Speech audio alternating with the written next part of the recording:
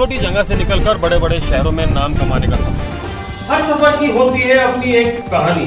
सफ़र की यही कहानी लेकर आ रहा है जीन इंडिया अपने खास कार्यक्रम शख्सियत में। तो देखना ना भूलें। कैसे किस आज की मीटिंग का मुख्य उद्देश्य था कि जिला शिक्षा अधिकारी माध्यमिक द्वारा स्कूलों को टेलीफोन कर करके कि भी इसको आप टीसी दे दो टीसी दे दो ये कह रहे हैं। और एक विद्यालय में तो ऐसा लिखा, इसको तुरंत प्रभाव से टीसी दे दी जाए और इस संबंध में पत्र व्यवहार नहीं किया जाए। और अभी जो कल का जो वादा हुआ, वो गार्जियन गत वर्ष की भी फ़ीस उसकी बकाया है, वो भी जमा नहीं कराई उसने और इस वर्ष कोर्ट का आदेश है।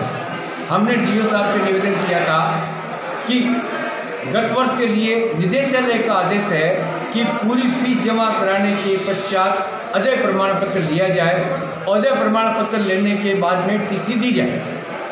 और इस बार कोर्ट का आदेश आ गया है कि 70 परसेंट फ़ीस आप ले सकते हो। 30 परसेंट का फैसला उन्होंने सुरक्षित रखा है पोस्टपोन रखा है कि वो जनवरी में फैसला देंगे।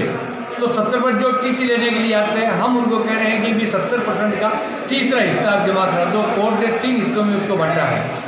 अब वो गार्जियन पहले जिस स्कूल में पढ़ते थे, वहाँ पर भी उनका विवाद था, फीसों को लेकर के। अभी वहाँ स्कूल का प्रबंधक जो है, वो मेरे साथ में है। उनके भी मैं कहूँगा कि उनसे भी आप पूछो कि वहाँ पर भी उनका विवाद था।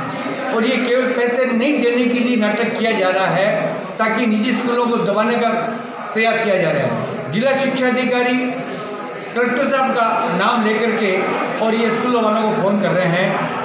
अगर जिला शिक्षा अधिकारी हो, यह लिखा जाना कि इसके बारे में पत्र व्यवहार नहीं करें।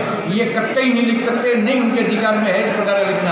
कोई भी अधिकारी इस प्रकार की बात नहीं लिख सकता। कि जिस स्कूल में पहले बच्चे जो पढ़ रहे थे, उनके स्टेटमेंट के लिए मैं राजीव कहूँगा कि आप बताओ कि